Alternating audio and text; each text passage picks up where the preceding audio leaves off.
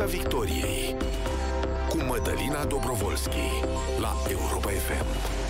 Și vă spun bună seara tuturor, suntem în direct pe frecvențele Europa FM, dar și pe Facebook. Discutăm în această seară despre un subiect care ne provoacă teamă, îngrijorare, mai ales că încă nu știm finalul, durata și posibilele evoluții. Vorbim despre război, războiul o mare traumă. Cât mai durează războiul din Ucraina și care este impactul său asupra noastră. Discutăm și despre șansele României de a mai intra în Schengen anul acesta și, în general, despre cele mai mari provocări de politică externă ale României în acest an. Invitatul meu în Piața Victoriei este profesorul universitar Iulian Chifu, consilier de stat pentru politică externă, securitate și afaceri strategice al premierului României. Vă spun bună seara și vă mulțumesc pentru că ați acceptat invitația noastră. Bună seara! Principalul subiect al discuției este, desigur, războiul. Se împlinește aproape un an în curând, dacă mi-amintesc bine, 24 februarie anul trecut era momentul acela de spaimă totală. E un an în care am introdus, am reintrodus introdus, de fapt, în vocabularul de zi cu zi acest cuvânt uh, încărcat cu o întreagă istorie de rău și de urât, cuvântul război. Părea că generația noastră va descoperi doar în paginile cărților de istorie acest cuvânt, nu în viața de zi cu zi, cel puțin așa speram uh, eu. Haideți să facem, uh, domnule consilier de stat, poza momentului. Ce se întâmplă în acest moment, într-o zi în care chiar secretarul general al NATO declară suntem într-o fază decisivă a războiului și tot acesta anunță mai mai multe arme grele pentru Ucraina în viitorul apropiat. Care este situația și care este perspectiva? Cât mai durează războiul din Ucraina?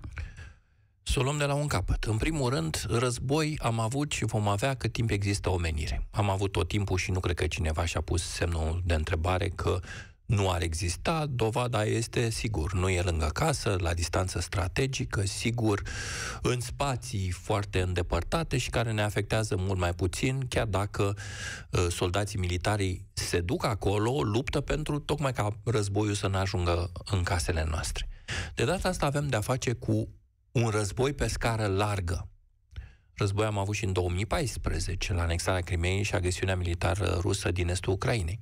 De data aceasta avem de-a face cu un război pe scară largă, un război lung, ne anunță chiar Vladimir Putin, pentru că nu și-a modificat obiectivele și dacă ne uităm pe obiectivele de plecare, vrea să izoleze Ucraina de litoralul Mării Negre, deci să preia toată zona de sud.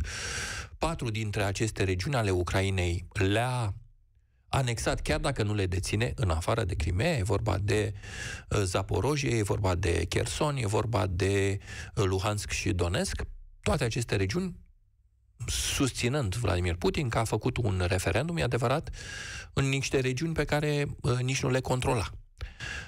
Pe de altă parte, sigur, dorește să se întindă și cu regiunea Odessa, să ajungă la gurile Dunării, să facă juncțiunea cu Transnistria, să izoleze, spuneam, Ucraina de ieșirea la mare.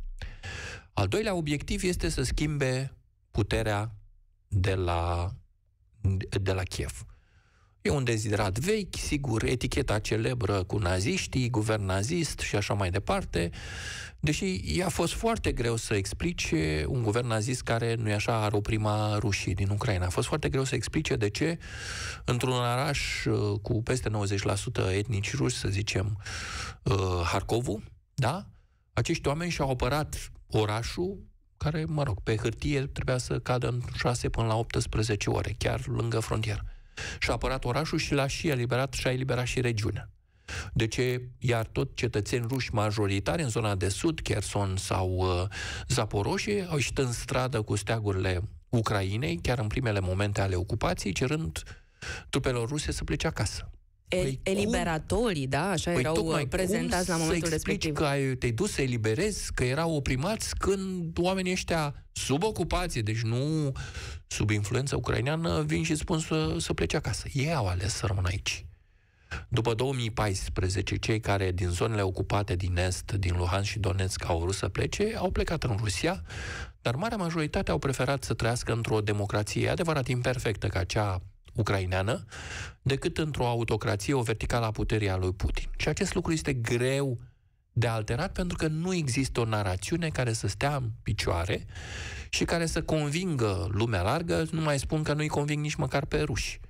Și în ceea ce privește Rusia și motivația pentru război, pentru mobilizare, narațiunea uh, de la Kremlin este foarte săracă. De aceea, Vladimir Putin, de exemplu, a cerut să se facă niște documentare care să se plimbe în toată Rusia pentru a explica poporului, documentare propagandistice, evident, de ce s-au dus prin Ucraina și cum e cu operațiunea asta specială, așa numită operațiune specială. Deci ăsta este faptul.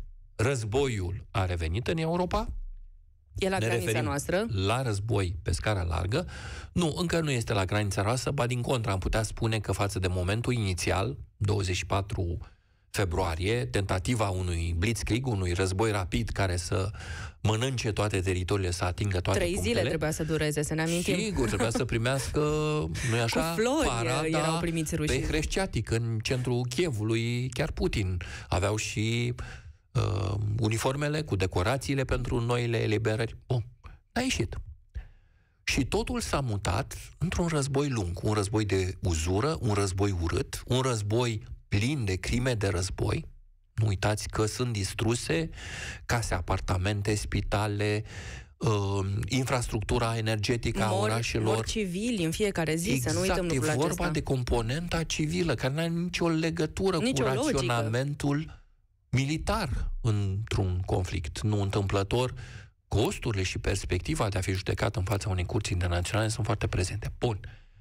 Asta avem la ora actuală. Așadar, un război perpetu, ca să vă Nu, citez... Războiul perpetu se referă la faptul că Vladimir Putin nu-și dorește o încheiere a războiului pentru a nu se consemna o înfrângere. De ce este folositor acest război continuu? Războiul continuu sau perpetu îi folosește tocmai pentru a nu, pu- a nu se putea uh, înregistra înfrângerea sa. Dacă ai război perpetu, sigur, urmează pe urmă iar să mai iei o bucată, să mai revii, să mai mobilizezi niște oameni, să-i arăți, să-i arunci în linia întâi. Mai există un calcul aici.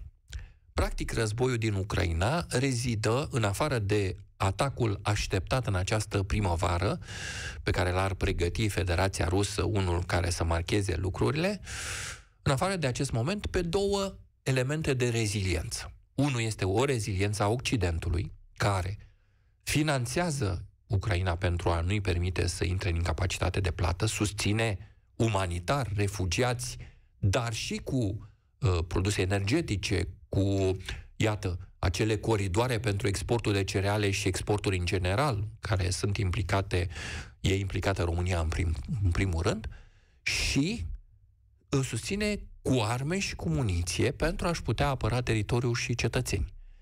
Și aici este o reziliență.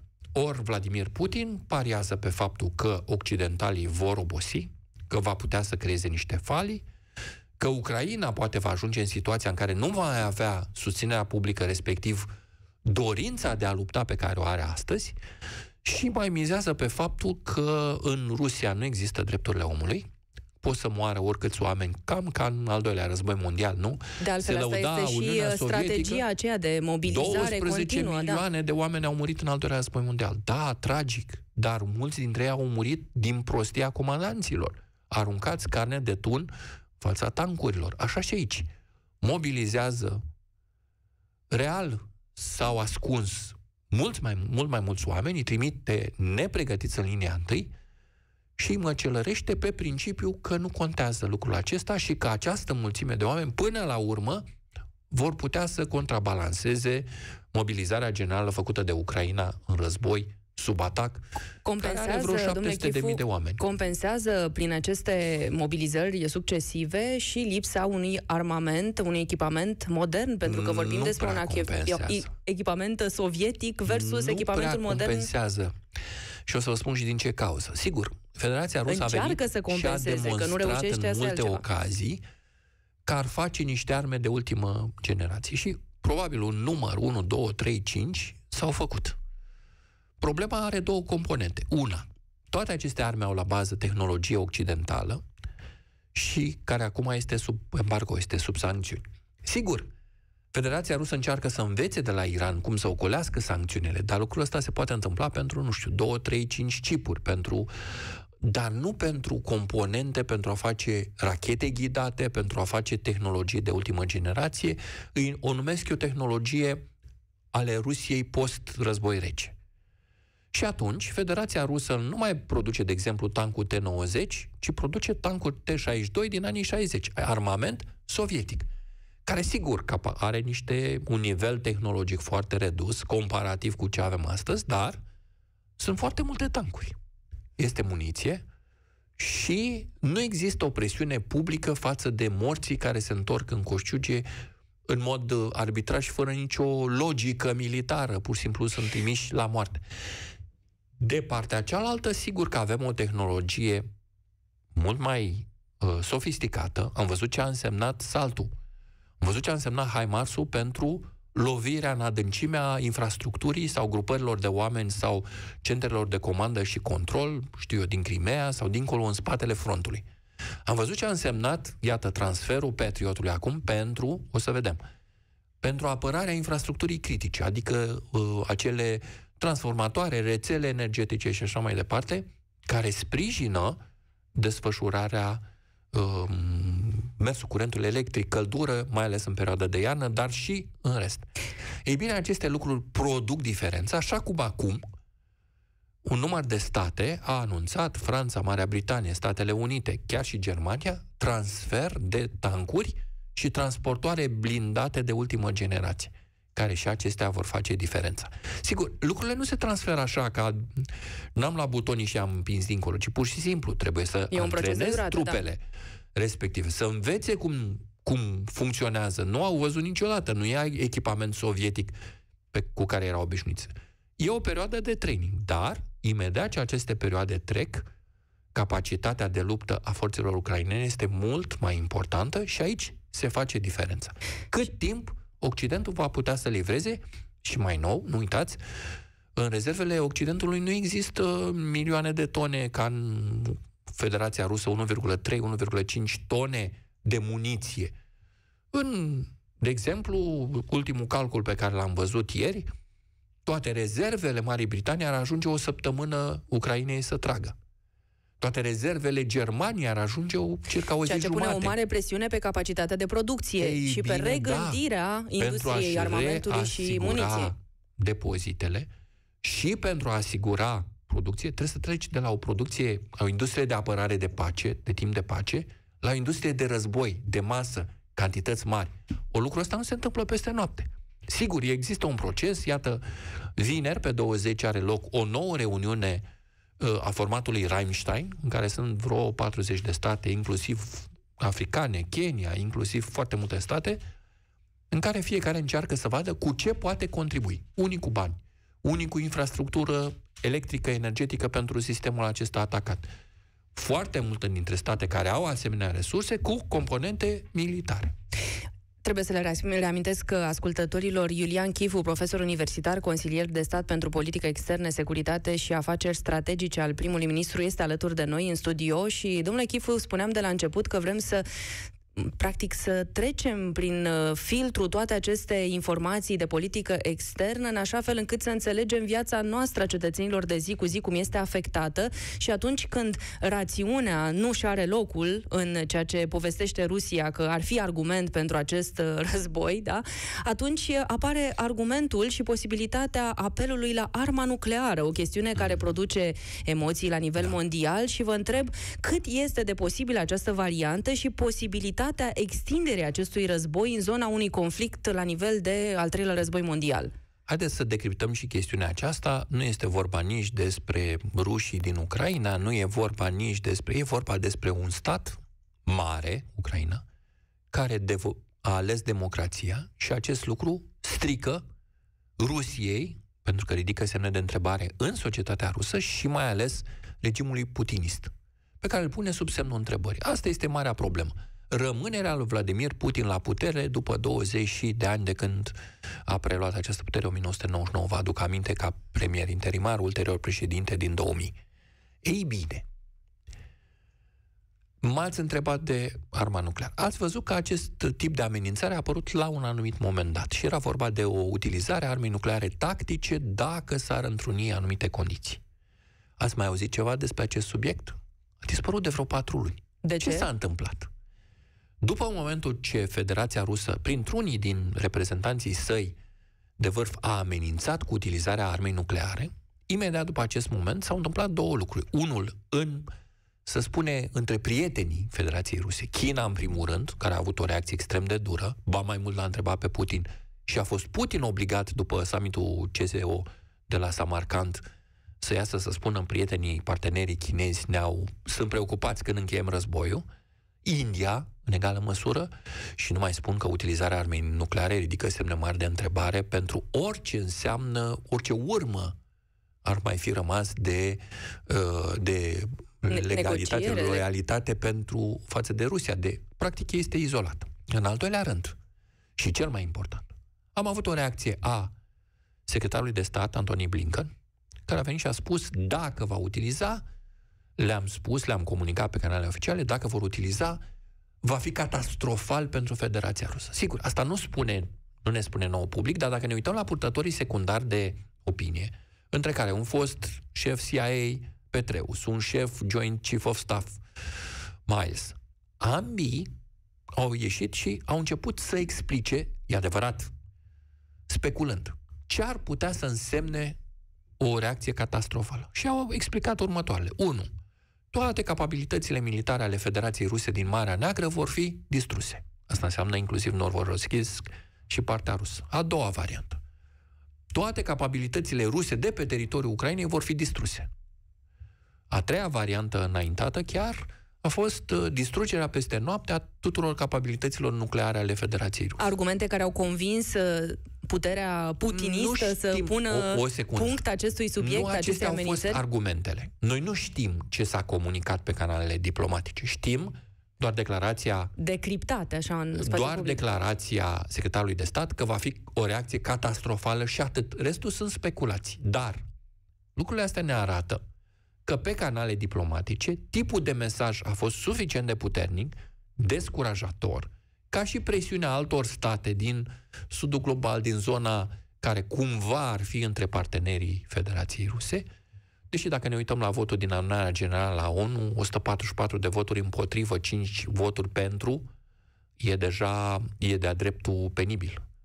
Adică îți arată cât de izolată e Federația Rusă. Nici China n-a votat pentru ea, nici măcar în Consiliul de Securitate, nici alte state din, din spațiu, din Asia Centrală sau știu eu.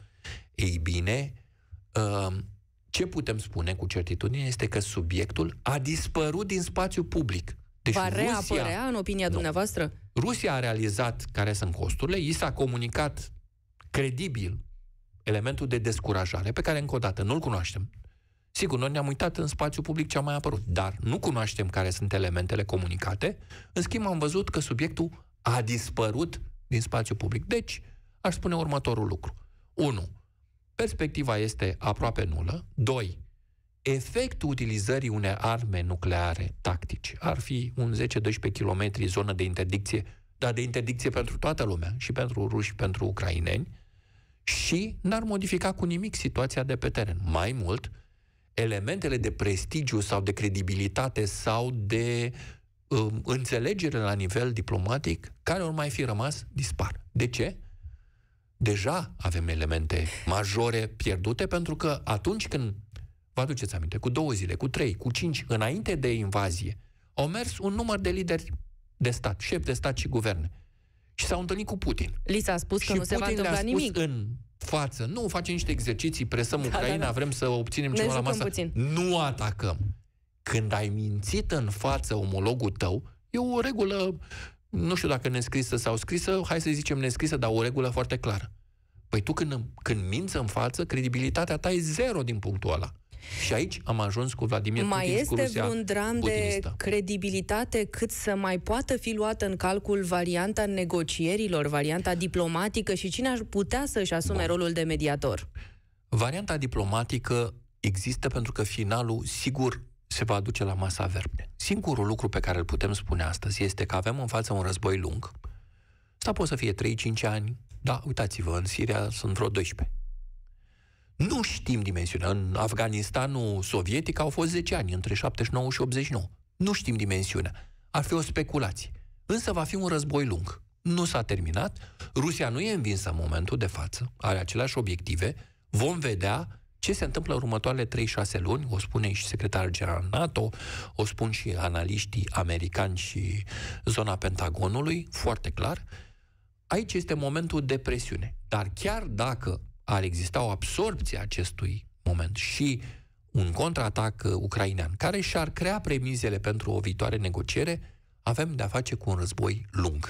Un, un război lung înseamnă și costuri foarte mari, uh, domnule Chifu. Și... și costuri foarte mari, dar haideți să spunem, Occidentul și le permite. Gândiți-vă că, spunea cineva, noi plătim bani.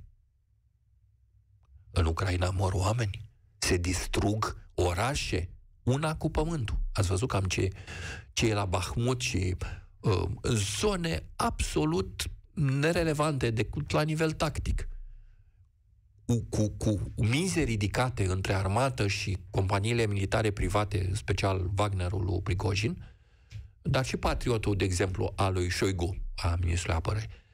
O rivalitate care a făcut ca acolo să moară sute mii de oameni și pentru o miză care, la scara război, este absolut marginală. Piața Victoriei cu Mădălina Dobrovolski la Europa FM. Și invitat în studio este Iulian Chifu, profesor universitar, consilier de stat pentru politică externă, securitate și afaceri strategice al prim-ministrului României. Este un subiect fierbinte în continuare, domnule Chifu, acesta Dacă îmi dați voie să, să termin uh, întrebarea, spunea când încep negocierile. Sigur, la un moment dat vor fi negocieri. Problema este că în momentul de față, definiția victoriei pentru Federația Rusă, adică anexarea, ocuparea completă a celor patru regiuni pe care deja pe hârtie le-a anexat, ă, blocarea ieșirii la mare, deci luarea și a regiunii Odessa și tot, toate celelalte elemente, schimbarea puterii la Kiev, joncțiunea cu, cu Transnistria, modificarea, schimbarea puterii la Chișinău, toate aceste elemente împreună n-au nimic de a face cu definiția Ucrainei, care Ucraina definește victoria teritoriul. ca fiind recucerirea tuturor teritoriilor Evident. și refacerea în limitele recunoscute internațional, sigur, ale recunoscute sale. în primul rând de Federația Rusă, inclusiv la Almata, inclusiv celebrul memorandum de la Budapesta când Ucraina a renunțat la arma nucleară, cedându-le către Rusia și în contrapartidă a avut garanțiile pe integritate teritorială, suveranitate, independență, sigur, care nu au fost respectate în primul rând de Rusia, semnatar al acelui acord. Deci, iată unde ne aflăm. Ne aflăm în situația în care pozițiile sunt profund incompatibile, astfel încât m-ați întrebat dacă de mediator. Nici nu contează cine ar fi mediator. Singurele lucruri care s-au reușit a fi mediate, Turcia a jucat un rol, a fost degrevarea coridorului pentru exportul pe anumite intervale a cerealelor din Odessa și în egală măsură schimb de prizonieri, și cam astea au fost singurele elemente marginale, altfel mici, relevante în ecuația războiului, dar mici în perspectiva unei negocieri. Nu suntem acolo, va dura și trebuie să ne pregătim în această direcție. Avem și definiția finalului, evident. Este foarte bine că ați spus că trebuie să ne pregătim și este următoarea mea întrebare. Ce înseamnă a ne pregăti pentru războiul acesta de uzură? Ce înseamnă din punctul de vedere al costurilor? Și ați explicat, democrația înseamnă și lucrul acesta, a apăra atunci când cineva întreab, încearcă să redeseneze granițele unui stat prin forță. E un argument uh, clar, cred că pentru toată lumea, dar nu și pentru extremiști, populiști, curente care ar putea să să înflorească în perioada mm. următoare. Cum vedeți echilibrul acesta al discursului public la nivel internațional? Sigur. Haideți să, să ne uităm cu atenție. Până la urmă, cetățeanul european a acceptat în mod direct și indirect să plătească pentru acest război. Cum? Prin prețurile la energie, prin inflație, prin sprijinirea refugiaților, prin sprijinirea ajutorului umanitar, prin sprijinirea uh, elementelor energetice, de la transformatoare la curent electric, la păcură, la uh, carburant și așa mai departe. Inclusiv prin acest transfer militar. Și a acceptat să plătească dintr-un singur motiv. Pentru că își dorește ca și copilul și nepotul său să poată trăi într-o democrație, sigur, cu imperfecțiunile pe care democrațiile europene le au sau orice democrație. Și nu să poată să aibă dreptul de a alege, nu să fie sub o dictatură a lui Putin cu verticala puterii și cu obligativitatea de a face ce-ți cere tătucu. Ei bine, e un lucru foarte important și foarte greu, care antrenează niște responsabilități. Responsabilități ale guvernului, ale guvernelor democratice, se spune Occidentul colectiv, pentru că nu e vorba numai de NATO, UE, UE și Marea Britanie și NATO, ci și de alte state democratice, de la, nu știu, Japonia, Corea de Sud, Australia, India, până la altele care nu au neapărat o democrație atât de elaborată, dar care se consideră solidare cu această lume democratică. Aspirațional își doresc reguli democratice. Vă spuneam apropo de reuniunea de la Rammstein, în care avem și din Africa și din America de Sud și de peste tot. Bun. Ce responsabilități sunt? Păi există trei criterii definite. 1. Ucraina trebuie să învingă. Dacă Rusia ar termina războiul cu o bucată, o halcă de teritoriu a Ucrainei, înseamnă că am creat un precedent prin care un stat să modifice prin forță, prin violență, frontierele vecinului său, deci am dat drumul la raptul teritorial am aruncat în aer lumea bazată pe reguli. Tratate internaționale, nu reguli. mai spunem că acolo e o listă săracii. Rusia cred că nu are acord internațional ne... Și câte alte conflicte neîncărcat. similare ar putea să genereze element, o astfel de situație? Al doilea element. Rusia trebuie să plătească. Când spunem să plătească, sigur, e vorba de despăgubiri de război, e vorba de reconstrucție, dar e vorba să plătească pentru crimele de război, cei care sunt implicați. Să plătească pentru evacuarea a cetățenilor ucraineni, a copiilor pe care îi dă spre adopție familiilor ruse și îi face ruși. Schimbă, este o epurare a unui popor, a poporului ucrainean.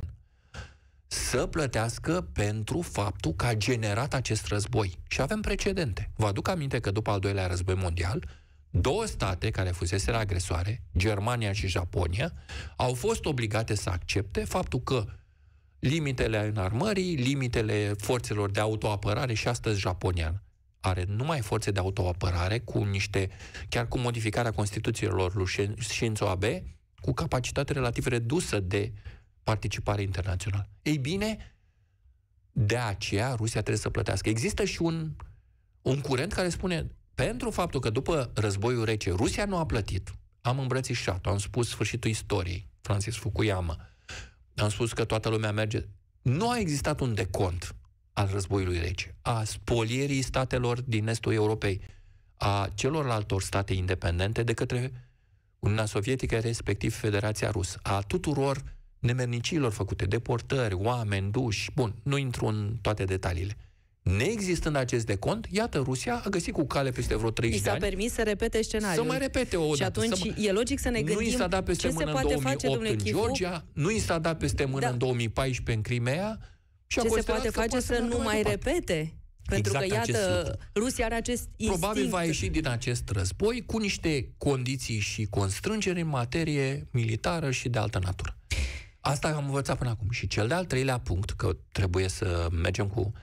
Tocmai pentru faptul că sunt niște costuri asumate de cetățeni, în egală măsură, guvernele toate trebuie să se asigure că nu există persoane, companii sau state care devin îmbogățiții de război, care ocolesc sancțiunile pentru a sprijini Federația Rusă. Toți aceștia trebuie identificați și trebuie să plătească. Cele trei elemente de care vă spun sunt deja în achiu, dacă vreți, și la nivel NATO și la nivelul Uniunii Europeană. Avem o declarație comună NATO-UE săptămâna trecută făcută la sediul NATO, apropo de cooperarea, inclusiv în domeniul Ucrainei. Ei bine, aceste lucruri au și componentă morală, dar au și efecte de stabilizare în timp. Nu vom avea stabilitate și nu vom avea blocarea recursului la război cât timp cel care generează un război pe scară largă nu intră într-un asemenea mecanism. Domnule Chifu, cum schimbă războiul acesta lumea și aș vrea să ne referim la o chestiune care ține de securitate națională și anume independența energetică și modul în care am văzut în război Rusia a folosit dependența energetică drept amenințare, formă de șantaj.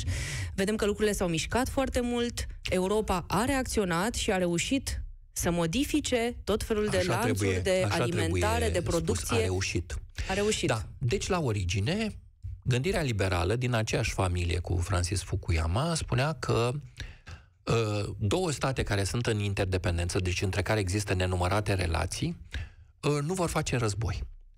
Sigur, la nivel energetic înseamnă că există o interdependență, adică, și cam așa a gândit Germania, cumpărăm acțiuni, noi companiile germane, în upstream, deci în producție, și cele rusești în distribuție, în așa fel încât suntem interdependente și niciodată nu vom bloca fluxul. Ei bine, a fost o mare greșeală. E valabil acest lucru dacă ambele state respectă aceleași valori. Dar dacă unul este liberal, democratic și respectă regulile jocului, iar celălalt este autocrat și nu respectă nimic, acest lucru s-a dovedit că nu înseamnă decât o dependență de autocrat. Asta s-a întâmplat. L-a descoperit Germania the hard way. Pe 24 februarie, vă aduc aminte, a început războiul, a doua zi după ziua armatei sovietice, apropo, totul e simbolism. Putin își dorea la 30 decembrie să declare care a făcut Uniunea Sovietică, la centenarul fondării Uniunii Sovietice. Pe de altă parte, la trei zile diferență, pe 27 februarie, cancelarul german Olaf Scholz merge în Parlament și anunță Zeitenwende, schimbarea, ruptura, dacă vreți, între politica inițială, post-politicul lui Willy Brandt, în variantele transformate ulterior post-89, în considerarea că Rusia nu mai este partener. Și de acolo putem să spunem că și Europa, și Germania, și toate celelalte state au reușit să se adapteze. Vă aduceți aminte? Rusia a mizat pe faptul că vom capota în această iarnă. Și totuși, Europa are nu numai, sigur, beneficiind și de o iarnă mai blândă, a existat beneficiind și acest noroc, de o schimbare peste noaptea circuitelor. Vreau să vă mai spun însă că nu e numai despre energie. Și am învățat lucrul acesta în timpul pandemiei. Și față de alte state autoritare, nu numai față de Rusia. În sunt sanitară. lanțuri de furnituri care sunt capturate de anumite zone sau unde există produse care sunt controlate în mod aproape total, vezi uh, metalele rare, rare earth, care sunt absolut obligatorii pentru tot ce înseamnă telecomunicații, IT din zona asta industria superioară, auto. industria de vârf. Ei bine, din acel moment a fost foarte clar că Europa și, în general, statele democratice trebuie să-și producă sau să aibă în apropiere în state like-minded, deci de aceeași factură, tot democratice, sigur, cu nivele diferite ale democrației, acolo trebuie să aibă în cel mai rău caz producția, dacă se poate, pe teritoriul lor, în așa fel încât să nu depindă de state autoritare, care pot, într-un moment sau altul, că vorbeam mai devreme de, de cazul Germaniei, printr-o asemenea interdependență, să creeze o dependență și să constrângă, să oblige un stat democratic să, sau state democratice să facă alte politici decât își doresc. Sau să nu-și poată furniza serviciile de bază propriei populații. Un război de lungă durată care ar putea să devină definitoriu pentru ce se întâmplă din punctul de vedere al uh, politicii externe pentru generația noastră, domnule Chifu, dacă e să numărăm în ani ce s-ar putea întâmpla așa pe termen mă scurt că și sunteți lung. mult mai tânără ca mine și mă gândeam dacă sunteți în generația mea. Sigur că există schimbări. Sigur există și deja modelări făcute pe scenarii, variante de încheiere a războiului. Variantele unei Rusii post-război, unei Rusii post-Putin, unei Rusii post-putinism. Dar dacă îmi dați voie, sigur că există aceste scenarii, putem să discutăm o emisiune întreagă despre ele, însă ele sunt încă la nivel speculativ. De ce? Având în față un război lung, noi nu știm cum se va încheia acest război. Sigur există lecții învățate, dintre care le-am subliniat și noi, cu lanțurile de producție, cu interdependența energetică, cu interdependența generică de un stat autoritar, cu toate celelalte lucruri. Ei bine, cred că este prematur. Sigur, încă o dată vă spun, și eu am văzut, și eu am făcut aceste scenarii, știu cum arată ele, însă cred că este în momentul de față hazardat ca, dincolo de, mă rog, formatori de opinie sau analiști, cineva să se pronunțe de la nivelul unei structuri guvernamentale pe asemenea temă, dincolo, vă spuneam, de reproducerea celor care sunt deja pe masă și sunt judecate la nivelul think tank-urilor, zone academice, care pot, poate să-și permite și speculații. Ieșind puțin din uh, zona aceasta a discuției despre război, dar rămânând în uh, zona Ucrainei, aș vrea să vă întreb dacă sunt noi evoluții în legătură cu legea educației, uh, cea care vizează zona minorităților în Ucraina, o lege care a provocat foarte multă nemulțumire aici în România, ținând cont de faptul că minoritatea Emoție, română de acolo, da. exact, nu Păi este am în situația avut, cea mai fericită. Am avut o poziție luată foarte clar de către Ministerul Afacerilor Externe, care a explicat practic a reprodus ce transmisese pe canalele diplomatice uh, elementele de preocupare ale României, semnele de întrebare. A fost și o discuție telefonică a fost o discuție a telefonică de stat, exact, da.